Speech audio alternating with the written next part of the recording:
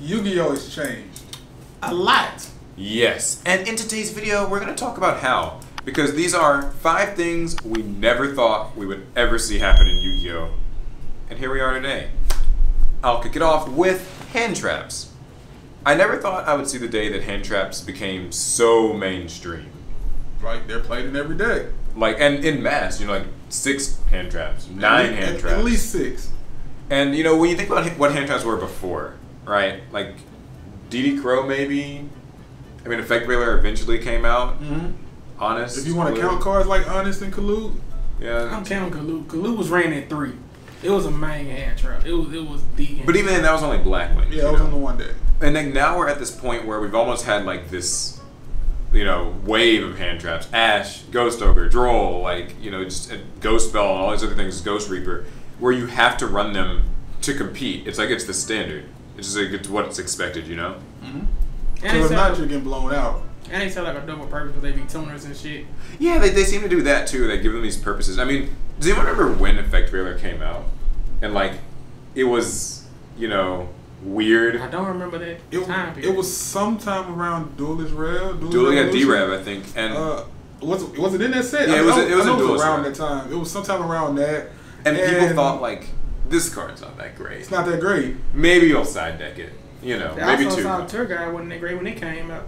Yeah, and I mean, like, then here we are now, where effectively it's been power crept. I mean, It's been power crept. It's kind of yeah, like, power grip, but it really came back on the cool. It's starting to be played now. yeah, it, Yeah, because it doesn't have that, that once per turn clause. You can draw two and both of them are live.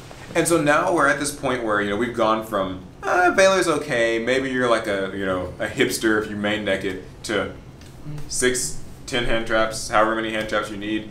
I mean now we have to run counters to the hand traps. That's true. You know what I mean? How many hand traps does your Trickstar deck run? Because you, cause you Uh, include honest in yours, doesn't no? Sometimes. Uh, but really just six. No, okay. Really just six. I mean I don't now like both this BA stuff. uh, eleven.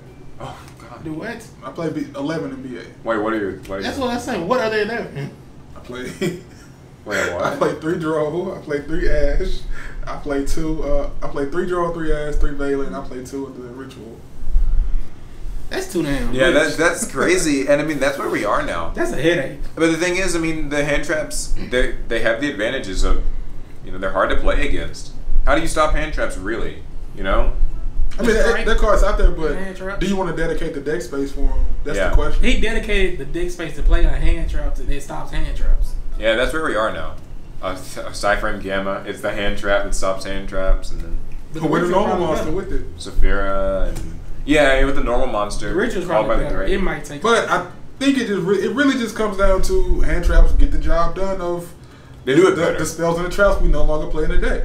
Yeah, it's true. You know, um, because now going into our next topic, um, we no longer play removal. Um, Dark Hole, Raigeki, Torrential Torrential Tribute, Tribute, Mirror Force. Mirror Force, we no longer play any types of Like, spell mass traps removal's gone, remove.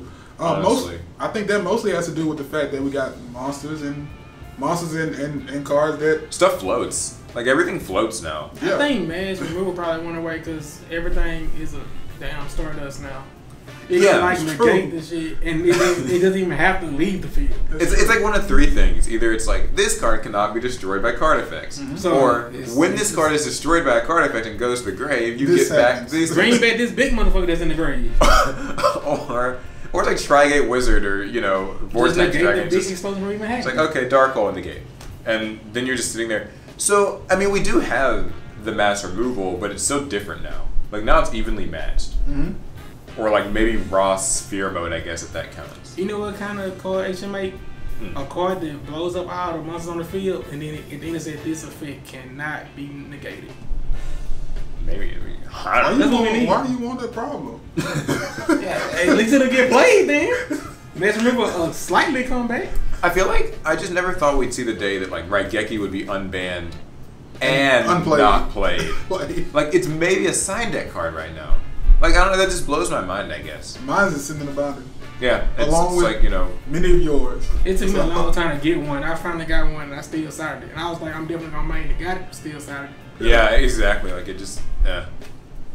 It re- I mean, it really just comes down to that fact that I mean, we really don't need it. Yeah, we don't need it. The combos and the monsters do the job for you, and it's not. But even with that, it's also besides mass removal, do we actually need any spells or traps these days? That's true because we Also a good point. Also a good point. That's true because look at cards that are that are no longer We don't play traps limited. anymore. Compulsory evacuation device really it- yeah. gets rid of every extra deck problem that can be targeted.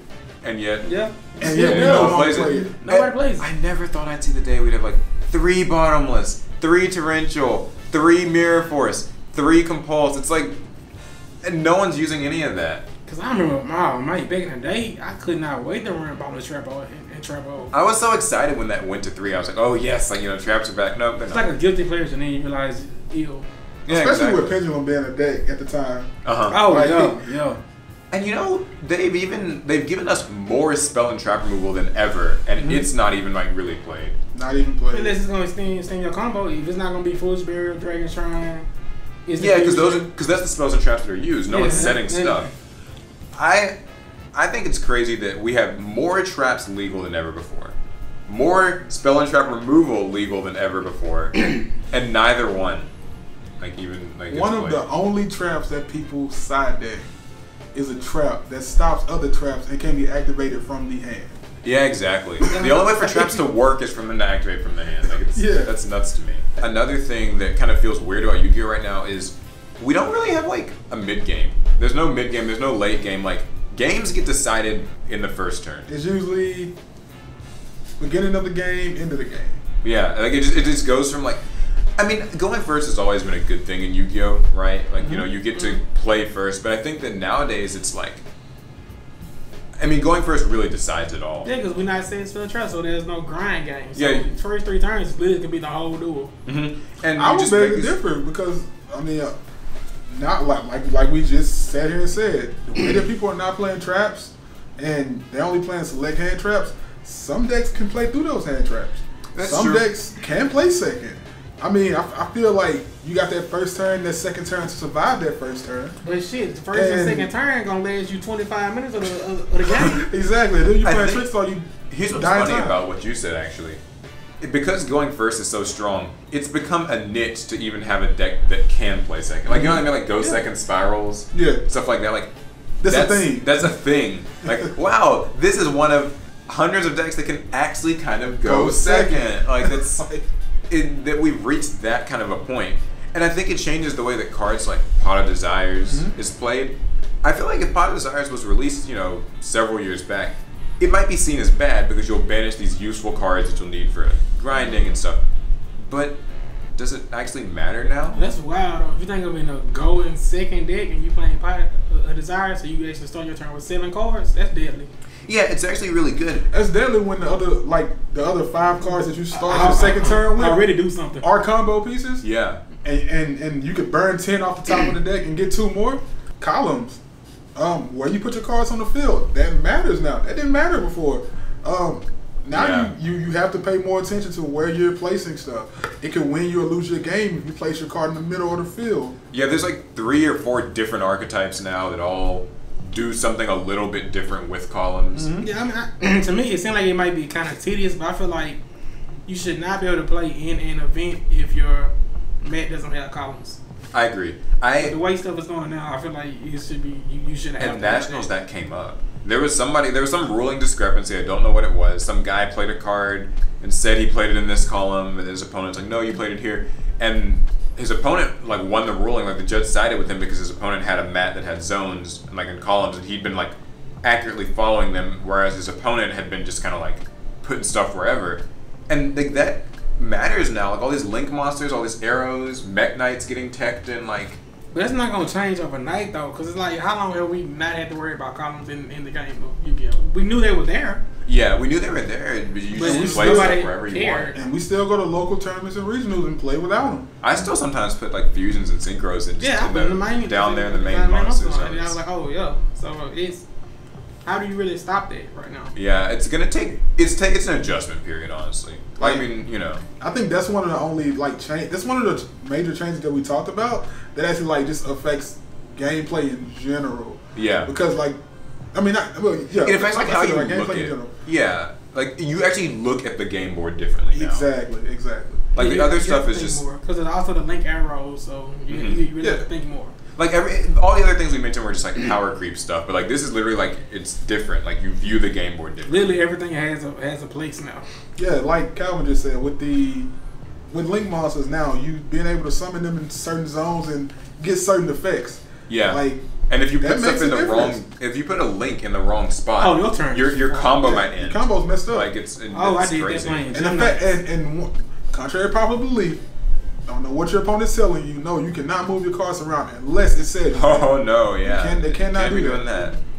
So I mean, all in all, like, do you guys think that these changes have been like good or bad? Like just in general, right? The speed, the less spells and traps. Change is the inevitable. so good. Yeah, I, I mean, it's Yeah, I think for the I think for the most part, um, I mean, just with the way people play the game now, the new cards that are coming out, new archetypes, um, it's necessary. Besides hand traps, I don't like them. I think hand traps are amazing. Until we get that Maxx C, I don't I don't care for hand traps. Yeah, I don't know. I'm mixed. Like, I think that the changes are good. I think my only gripe, like from Konami's end, is they should probably offer people who don't like all of this power creep to maybe be able to play their own like format or something. That's true. But as for me, I mean, I think it's good. Change is inevitable. It's going to happen. Mhm. So it, we're just keeping up with the game. But that concludes the video. We want to know what you guys think, though. Let us know down in the comments. Do you, you know, like what crazy things did you never think you would see happen in Yu-Gi-Oh! like 10 years ago, but now it's like just the norm? Shit, Breeze me fifty dollars. That too. I don't know how that happened. That, I don't know how that happened, but that too. It happened because of you. Um, so yeah, that's the video. We want to know what you guys think. Let us know down in the comments. And if you like the video, give it a thumbs up. Subscribe for some more Yu-Gi-Oh! Ring the bell so you'll know about all of our new videos. And I think that's gonna be it. Oh, you know something else? BLS is at three. Hey, that's it. That's true. Peace.